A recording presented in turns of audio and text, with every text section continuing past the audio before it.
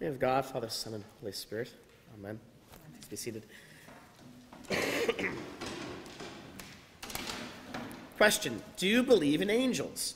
Do you believe in angels, those sort of spiritual beings that appear in all the Abrahamic religions? Uh, of course, Christianity, but also Judaism and Islam. Also, Zoroastrianism and Baha'i faith and uh, in other faiths as well. Do you believe in angels? In 2008, a survey of Canadians that sampled a couple, I think it was 1,500 people, found that 67% of Canadians believe in angels. Uh, interestingly, a, a study in, in, America found in 2009 found about 55%, although that was up from previous years. And 20% of the people in that survey who said they were not religious reported that they believed that they had experienced the protection of guardian angels in their lifetime. 20% of people who identified as non religious. That's way more, even like global warming is like 36%. So there's a lot of people that believe that angels exist. What's interesting is that if you want to um, cause your eyeballs to melt with sheer cheesiness factor, just simply do a Google image search on angels, and you will see some very cheesy art. Uh, because angels have become a place where people like to project their fantasies of what uh, anything, pretty much. So you can find all kinds of angels. Perhaps the most egregious uh, sin against art that I found was uh, something that Jamie pointed me to, which was to Google uh, kitten angels. Uh, there's a whole genre, pages and pages of people who have photoshopped images of kittens with little wings, and uh, yeah, it was, it was mind boggling.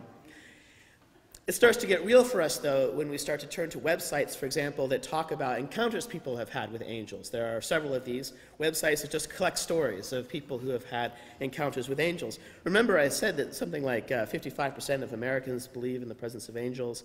Uh, I figure out the percentages of people that have overall who say that they've experienced the, uh, the protection of angels in their lives, but it's a large number. And I know several people personally who have had experiences like that.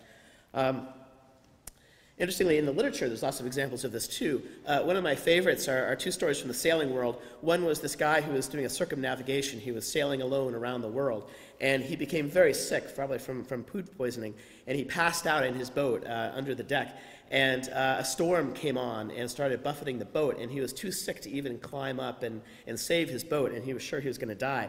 But he, as he was trying to claw his way up the ladder uh, to get onto the, uh, the deck, uh, he saw a man behind the helm, and he was dressed in old sailor-like garb from you know the turn of the century. And this man behind the helm, this ghost figure, just kind of nodded to him. And then he passed out again. And you know, he said whether that was a, a feverish hallucination or whether that was a real thing is difficult to know. But he does know that his boat survived a storm that it shouldn't have survived without someone at the wheel. Similar story.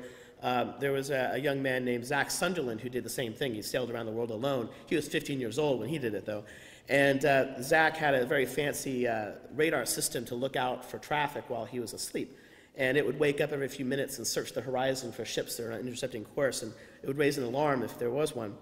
Well, one night he woke up, he just felt something was wrong, something wasn't quite right. So he woke up and he turned on his radar and it wouldn't turn on. Um, there's a power failure. And so he went up to the deck, and sure enough, there was one of these gigantic, uh, you know, intercontinental transport ships that was bearing down on him, and he was able to turn his motor and get out of the way in time. But he believed this was a heavenly intervention that, that saved his life. As I said, as we start to get into these stories, we start to see something very real. We start to hear stories that people believe that God has intervened directly in their lives uh, to save them from bad circumstances. Uh, recently, I've been thinking of a couple of stories of angels inter- either intervening or not intervening. Um, there was uh, a case about uh, 10 or 12 years ago when I was a hospital chaplain of a young boy. He was probably about five or six, and I was on call the night that he came into the hospital. Um, I worked at a level one trauma center, so we'd get the really bad cases. And unfortunately, this, this young boy had had a, uh, he had had a seizure, but the part of the brain where the seizure happened is the part that controls breathing. So he had had some significant brain damage as a result of his, of his, uh, of his seizure. And uh, as the chaplain, I was the one who met the families. They came in and took them to the emergency room, the, the actual trauma room where they were working on their child, and sat with them as they sat in these two chairs. And uh, he, he made it through those first couple of hours, and they put him in the pediatric ward. And at that point, his care for the chaplaincy was transferred to a specialist that we had in pediatric trauma.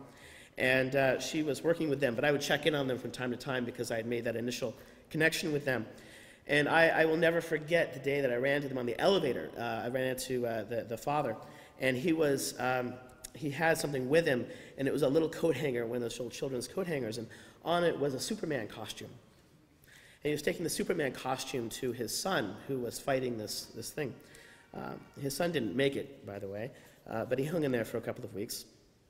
And that's the sort of story that haunts you when you do that kind of work uh, for quite a while. I knew lots of other kids that did survive really strange circumstances and were, were, brought through, but I was always kind of puzzled about why it would seem that, that you know, sometimes God would intervene in some cases and, and not in others.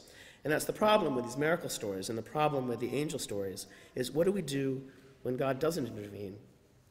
Seems clear enough when God does that we, we love to sort of celebrate, rejoice, and give glory to God. But in the rough times, are we able to similarly give glory to God? Perhaps crying first and then finding the joy. There was no miracle to save our daycare, unfortunately. Uh, we knew for months that we had a problem, but uh, there was nothing to intervene. There was no angel, as they call them in the nonprofit world, who came in with a large stash of cash to bail us out. We knew that with a large infusion of capital, we could refit the space, the architecture, we could change some other things, and we could perhaps make it sustainable into the future. But it didn't happen for us. So, what do we do with that? Well, I would suggest one solution is as resurrection people, we believe that to get to the resurrection, you have to go through the death part. That perhaps if the daycare dies, it creates an opportunity for a new ministry to arise in this place. I would suggest a second comfort we could take is something from the Old Testament, this passage that we have in which Jacob is encountering the angels, and he, he has this wonderful vision. If we understand the context, we understand that, that Jacob, first of all, was not such a nice guy. He was, a, uh, he was an expert in, in, in frauding people. Uh, he had already gotten away with a couple of big frauds and uh, committed against his own family members, nonetheless, including his brother. And so he's on the run, and in the midst of that uncertainty and that fear, he comes to a very ordinary place and he has this vision. And from that vision, he understands that even in that ordinary place, God is present, and he names it Bethel. I believe that this is a Bethel, that this is a place where God's highway comes and there's much traffic back and forth, that God has been present in the lives of the children that have come through this daycare and through the work of the teachers and in their lives as they've been transformed as well. But that kind of ordinariness of the angels, the fact that the angels are not just these heavenly beings that intervene miraculously in car crashes and pediatric hospitals, but in fact is there every day in a way, is remarkable. Is remarkable. I think that those who know children sometimes uh, hesitate to call them angels all the time. Uh, I'm not sure that they are. I'm sure that uh, I know that my three and a half year old is not always a little angel. Uh, and I'm sure that's probably true of the daycare staff as well. Perhaps they were not always the angels that we would like to believe them. Because both children and teachers are very easily, just like angels, the object of our fantasies. We sort of imagine these perfect teachers who do such a better job than we could possibly do of taking care of our children. Or that these children could never do anything wrong, they're so beautiful and so innocent innocent. Ha! the fact is, I think probably for the daycare workers, they, they, their experience is probably, I don't know this for certain, I've never done that work as a professional, but I, but I imagine that their experience is probably that they're just holding back the waves of chaos that threaten to crash around them, that they're just managing to hold everything kind of together. Because that's what life is like, just kind of holding everything together when the waves of chaos want to crash in on us. And from time to time, our lives show us that when we're doing that work, miraculous things happen, often in very ordinary ways. Maybe, you know, uh, if you're working in the daycare and things start to seem like they're going to spin out of control, just at that moment, something happens that saves the whole thing. I don't know. I'm sure we could hear some stories like that later. So, my challenge for us, both as a congregation, as individuals, is as you consider a place like Messiah Daycare, and you consider its closure, that you look on the other side of that toward the resurrection possibilities that are there. And you also do so in the confidence that this is a sacred place, where that traffic of angels back and forth not only has happened in a past tense at the daycare, but continues to happen perhaps in a new way. That even in the midst of the uncertainty and fear that, that Jacob certainly felt as he was fleeing his family, um, that perhaps even in the midst of that, God reveals himself in new and miraculous ways. That all we have to do is to have the eyes to see that vision. All we have to do is look for it, and we will see it the activity of angels everywhere. So now is my, ours our uh, custom as a community, after I, I preach, I'll sort of open this up and see if anybody has any, anything to share. I'd be particularly interested in the stories of the miraculous uh, and, and kind of the way in which God intervenes and show God's presence, especially in the context of the daycare. But